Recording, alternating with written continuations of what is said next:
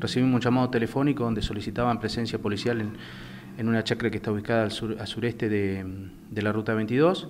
Se constituye inicialmente personal de la Brigada Rural de esta ciudad y posteriormente lo hace una comisión de la Comisaría Cuarta, donde se constata de que había una persona de que había fallecido a raíz de un disparo de arma de fuego.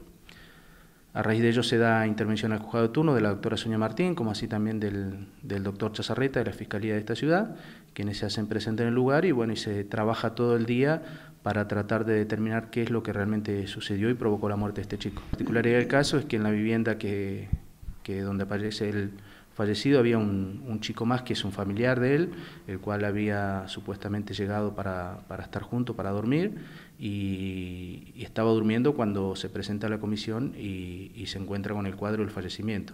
Así que a raíz de ello esta persona todavía está demorada y por disposición del juzgado, una vez que se determinen determinadas pericias que se le encargó al gabinete criminalístico, se va a resolver la, situación procesal del chico. El disparo se produce en un departamento chico que está mm, cercana a la vivienda principal. Eh, y es un arma de calibre chico, una pistola de calibre chico que fue secuestrada por el gabinete.